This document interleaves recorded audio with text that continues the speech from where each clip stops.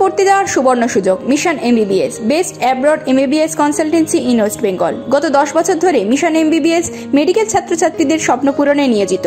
ভর্তির জন্য কল করুন nine seven three two one double two seven double four নম্বরে।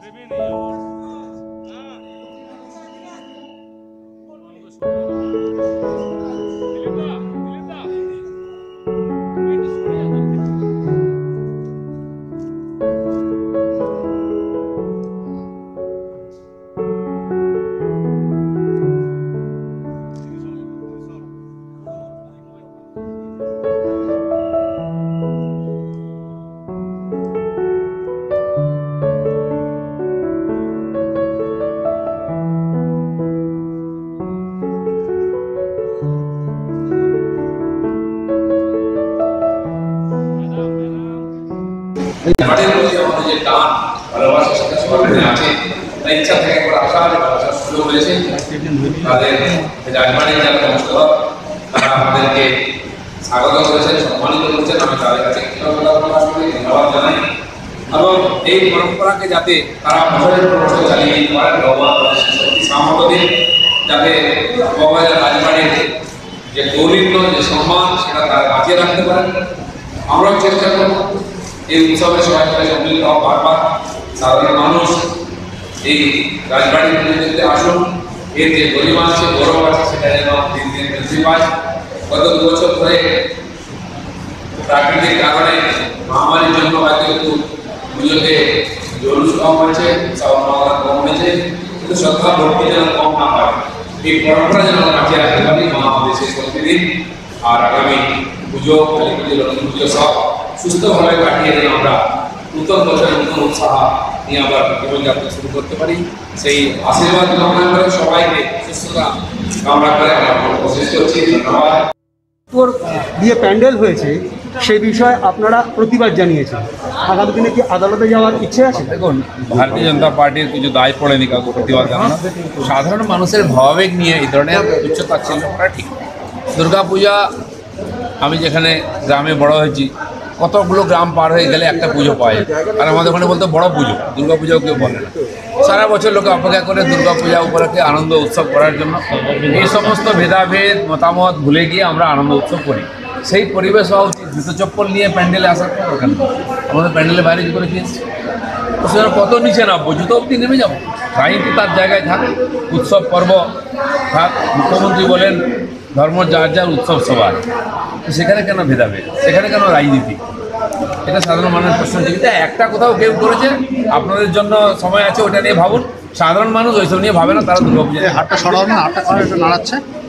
যেহেতু শুরু হয়নি আমি তো বললাম যে আগামী এই যে সংকট আছে মানবতার মধ্যে যে মহামারী এই সংকট কেটে যাক মা যেন বিসর্জনের সঙ্গে সঙ্গে এগুলো নিয়ে চলে যান আমরা যেন নতুন উৎসাহে জীবন পৃথিবীতে বাস এটা মহুয়া মৈত্র কিছুক্ষণ আগে টুইট করেছেন যে শাহরুখ খান শাহরুখ পুত্রকে যেভাবে গ্রেফতার করা হয়েছে কিন্তু মুন্দ্রা কোর্টে নিচ্ছে না। ঠিকই আছে তদন্ত চলছে কোর্ট আছে আইন আছে ভরসা রাখা উচিত। যারা নিজের মতো করে আইনকে ব্যবহার করেন, তাদের মনে ভয় থাকে সবসময়। সেই জন্য যারা অন্যায় করেছে, তারা সাজা আর না হলে সবাই অন্যায় যদি না করে, তারা মুক্তি পাবেই। আমাদের কোর্ট এবং আইনের উপর ভরসা আছে, ভরসা রাখা উচিত। তবে একটি দুশ্চিন্তার বিষয়? সর্বোচ্চ স্তরে সমাজে যারা সেলিব্রিটি যাদেরকে কোটি কোটি মানুষ ফলো করে তারা তাদের সন্তান তাদের পরিবারের লোক যদি এ ধরনের অনৈতিক কাজ করে সমাজে খারাপ সন্দেশ হয় স্ব- স্বরাষ্ট্র প্রতিমন্ত্রী কেন্দ্রীয় স্বরাষ্ট্র প্রতিমন্ত্রী অজয় মিশ্রের ছেলে আশিস মিশ্র অবশেষে গ্রেপ্তার হয়েছে কি বলবেন স্বাভাবিক আছে। অনেক লোক চাপ দিচ্ছিলেন অনেক কল্পনা কষ্ট কল্পনা হয়েছে। তো বিরাট একটা দুর্ঘটনা ঘটেছে দুঃখজনকভাবে মৃত্যু হয়েছে। সবাই চাইছে যে সেই যে ঘটনা ঘটেছে তার সত্য সামনে আসুক।